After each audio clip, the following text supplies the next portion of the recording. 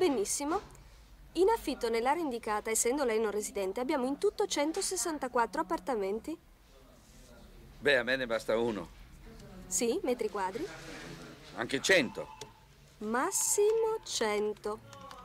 Rispondono a queste caratteristiche 22 appartamenti. Prezzo massimo? Eh, beh, il plafond del mio budget è 600.000. 600.000. 600.000.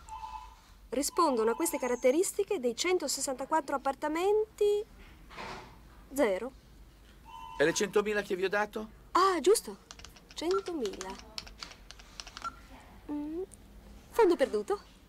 No, scusi un attimo, eh.